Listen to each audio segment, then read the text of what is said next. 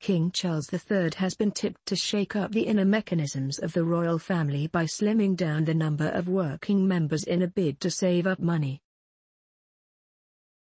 As part of his money-saving strategy, the monarch could push for royal residences to be turned into museums to earn more cash for the royal purse. Royal editor Russell Myers suggested Windsor Castle and Balmoral, which are both actively used by members of the family as homes, could be on the line to see more areas opened up for public visiting.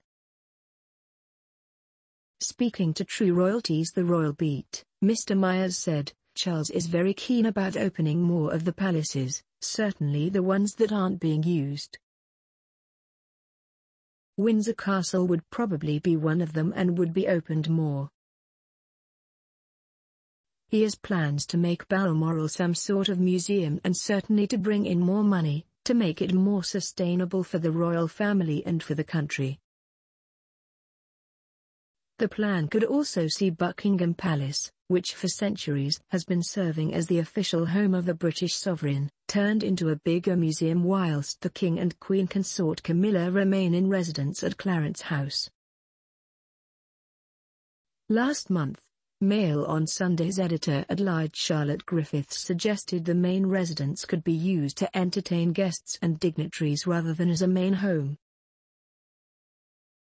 Ems Griffiths said, Charles is very fond of Clarence House and everyone in it, and not so attached to Buckingham Palace.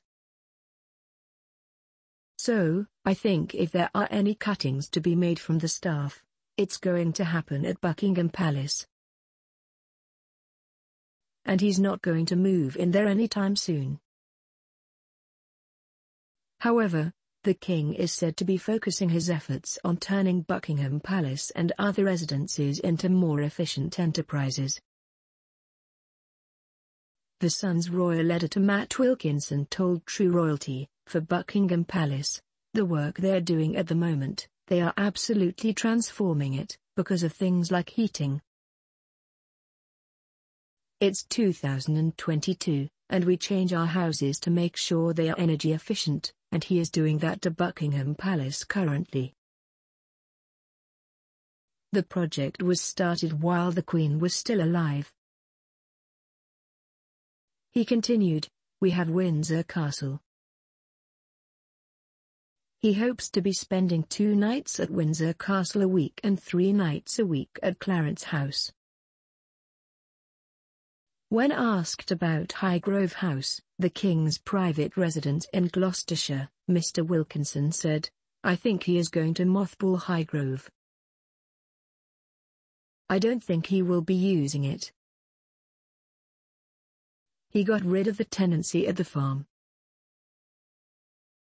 At Sandringham, he opened up one of Europe's leading organic farms, and he is going to be spending a lot of weekends there.